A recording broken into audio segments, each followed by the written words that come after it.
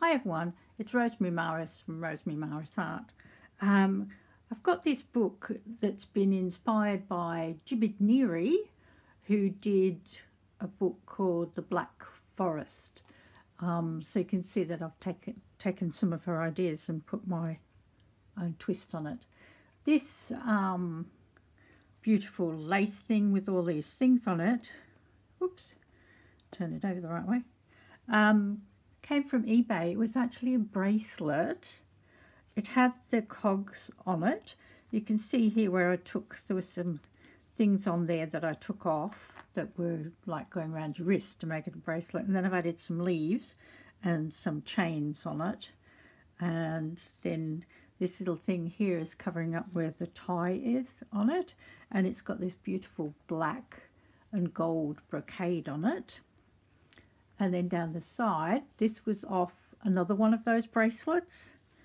And and this was too. This whole thing came down and sat. So the bracelet was here and then this came down and went over your finger. And it was a really really cheap way of getting beautiful embellishments because I think they were about four dollars each. I got two of them. Uh, and this is part of the lace off it as well So we will open it up. Hope I can get it all in in frame. This beautiful paper here, um, someone mentioned that they got it, it's Italian paper, but they got it in England and I googled it and found it. Oh, and the cover's got these lovely corners on them too. This is a picture from a magazine. All of this is um, every page is torn and then uh, aged and then the backgrounds are stenciled. So this took me forever to make it, but I loved it. So you can see it's got this woody theme, but then there's there's uh, cogs and things like that in it, so it's a bit steampunky. The little mushrooms with the cogs hanging off them. And some of the sayings are from Jibid's book, uh, which I reran the, the video several times. And then some of them are written by me. And uh, so deep in the forest I stroll to hear the wisdom of my soul. These are um, Tim Holtz wildflowers, which I've drawn things, I've added little doodles to them. Then this, this was handmade paper with bees on it. Um, and that's another handmade paper that you can see later on where I've used a big sheet of it. This is one of Tim Holtz. Uh, can't remember what they're called. Geometric um, insects, geo insects, I think they're called. And it's on a bit of uh, dyed hessian. And it says, Let's take our hearts for a walk through the woods and listen to the magic whisper of the trees. I don't usually put writing in, in my books, but this one, I just thought it went perfectly with it. Here's some more of that beautiful paper that gold foiled on it.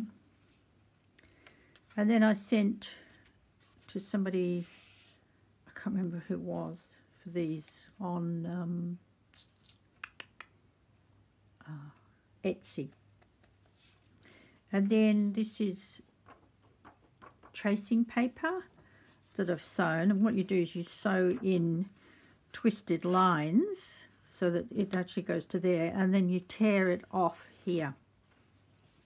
And then you turn it over and tear off the back of the page there. It took me a while to work out how Jibid had done that, but I worked it out. here's a, some of that beautiful handmade paper all of the the things I've cut out with um, with black paper and then I've gone over them with gold wax. And then I've used these uh, images because they've just gone, excuse me, they've just gone into being not copyright anymore. Can't remember the guy's name who did them. Anyway, it says, Someday I will be old enough to read fairy tales again. And she looks as if she's lost in the woods. This is sari silk. Um, this is from a Japanese book that I have, but I thought it looked rather nice in that uh, little hedgehog down there.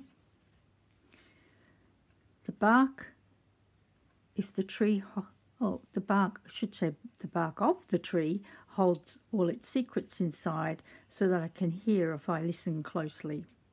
Uh-oh, might have to do that again and cut it out and glue it over the top.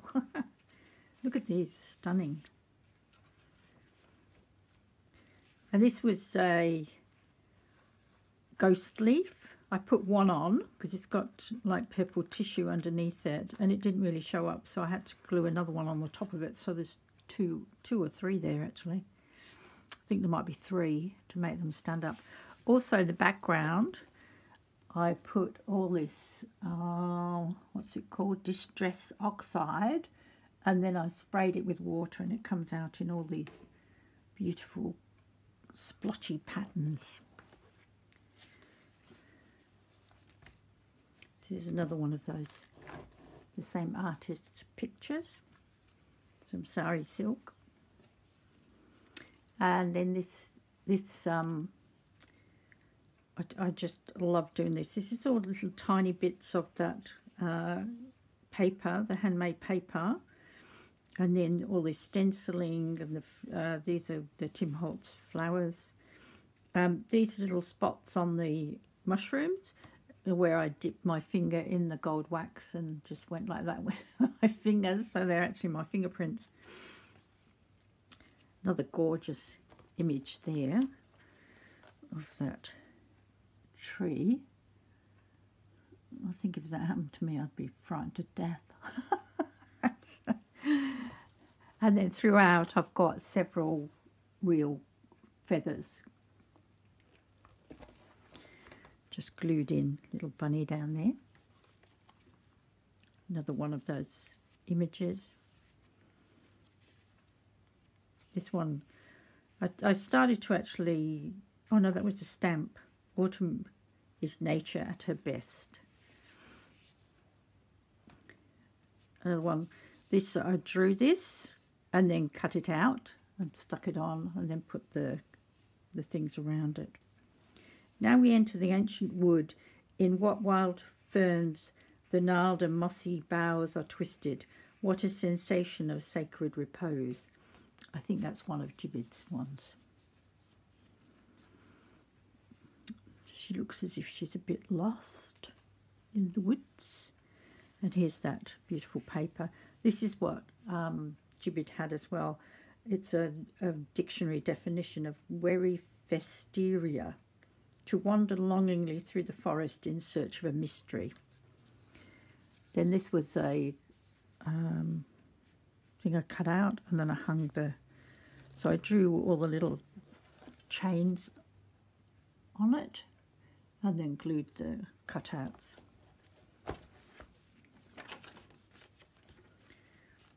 Uh, another one of those nice pages. The forest calls each and every one of us, but only a few hear the call. A dragonfly. Another beautiful, beautiful feather there. It's gorgeous. And it's on some fabric there and some paper. I think that might be handmade paper, not fabric. Then this one, I went online and found some images that were black and white um, and this one had like a check pattern in the background of it. So I thought it was one of those that would just print him with white background but it didn't. I printed it on this paper by the way. Um, so I cut him out and then put all this around him to, to like make him blend in.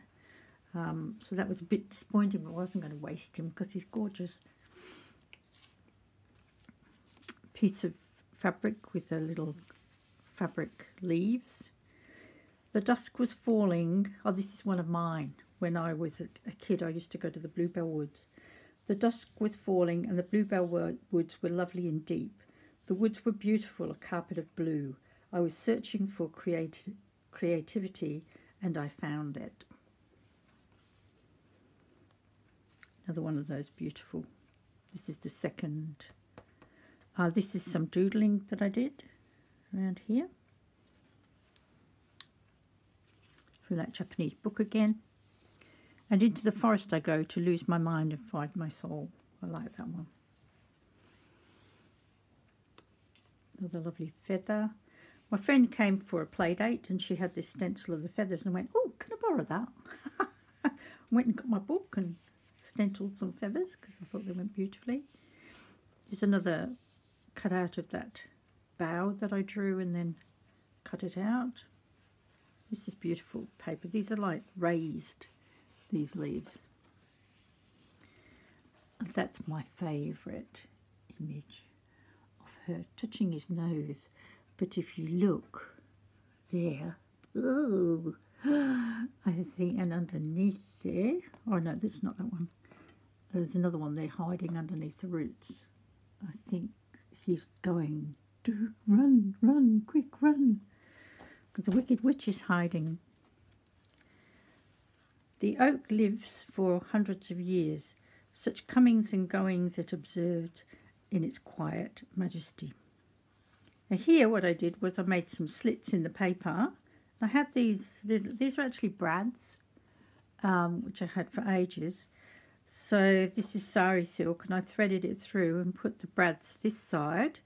And then of course on the other side it's covered up by that and then there's some more brads there, which I thought was rather clever. Here's where I borrowed my friend's feather thing again, a beautiful real feather. This, it's very strange. It was a, um, it's a doily, of course, but it's made out of that hessian. Beautiful leaf there, oak leaf.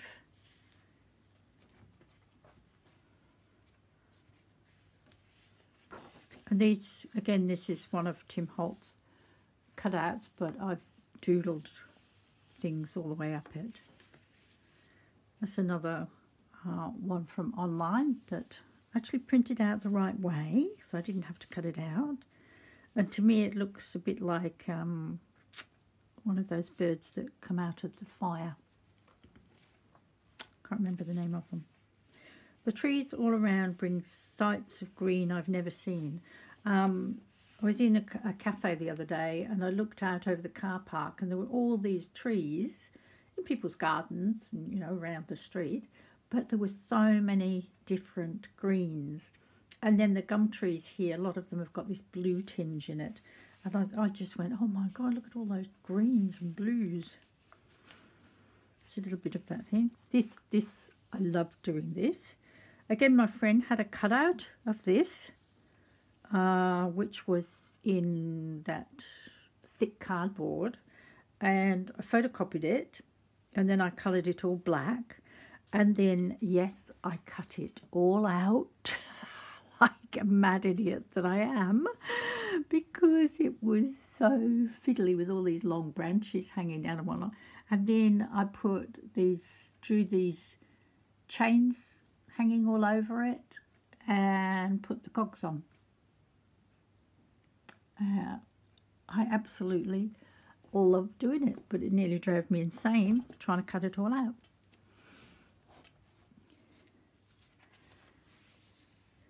Nature is painting for us day after day pictures of infinite beauty. There's a little ruffle down there. And this is that bee paper that I've just, you know, I've cut out, well, I didn't cut out, torn out little, little bees from it and used them throughout the book. Another one of those beautiful images and another feather. This is a metal piece and it's held on with one of uh, Tim Holtz brads and on a piece of fabric. And I was trying out that butterfly stamp and I actually did it on some paper and thought oh that looks rather nice. So I cut it out and glued it in. Some more of those beautiful eco-dyed Um, the lady that did it does such an amazing job. Uh, yeah, this is handmade paper. That's what was behind it, and that's that see-through like tracing paper with the leaves on it. There's that butterfly stamp again. See, there's a little bees down the edge of the page, and then I have this new, I think this is a Tim Holtz one, and it looked like a honeycomb. Some feathers just popped into that. So what I did with this over here, I used it as a stencil. It's paper. So I just put it there and went down it. Hmm, clever. The clearest way into the universe is through a forest wilderness. Here's some little fairies looking up at the trees and the sky. Here's some more of that tracing paper with the um, oak leaves on it, which I worked out how to do it. Thank you, Jibid. and there's a bit stuck under there as well. And here's some more of that beautiful spraying. That one worked out really, really well. Love it. My hands were brown for days after I did this book because I was using using it all over to do all this stenciling and whatnot. Time spent amongst trees is never time wasted. And that's got a little bit of um, gauzy stuff on it. Bit of, oh, this is Tim Holtz paper pad. Um, can't remember what it's called. It's got beautiful coloured papers in it. Another one of his geo insects. This was a stencil. So you can see in the corners I've just used part of it. And then what I did when I stenciled it through with the ink, I went round all of it and drew around it with a black pen because it wasn't standing out enough for me. There's another beautiful image. And this is washi tape that I actually ripped. Probably got it somewhere else in here as well. See, there's some down there. Oh, that's, again, part of that paper where the feathers were back there that I've used as a stencil.